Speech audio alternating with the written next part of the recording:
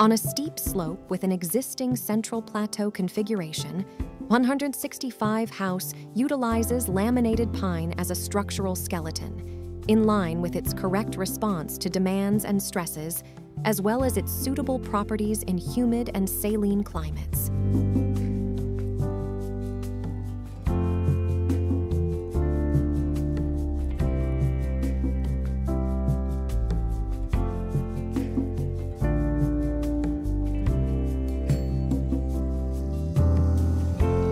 Crossing of two volumes on the upper floor has been crafted, constructed through laminated structures in the 4015 centimeter section, diagonally reinforced to meet the structural requirements for spanning pronounced gaps, 4.5 meters.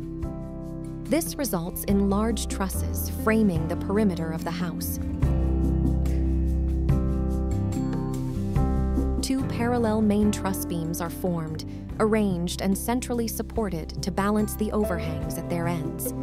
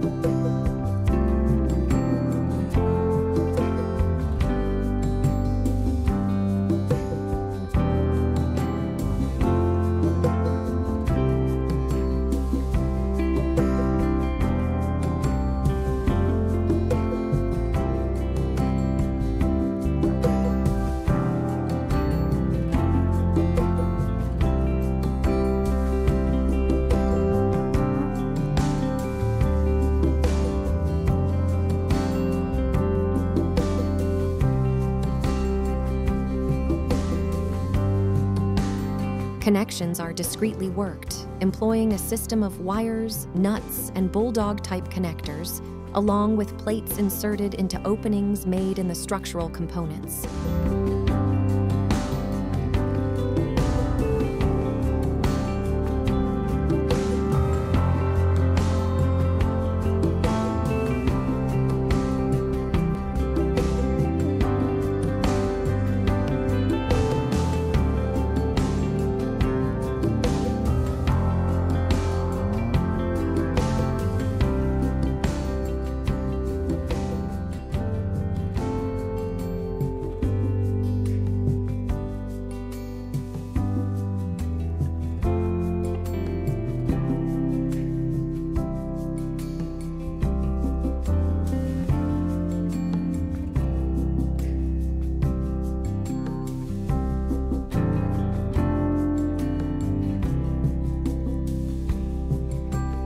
Project draws inspiration from mid century Meccano bridges.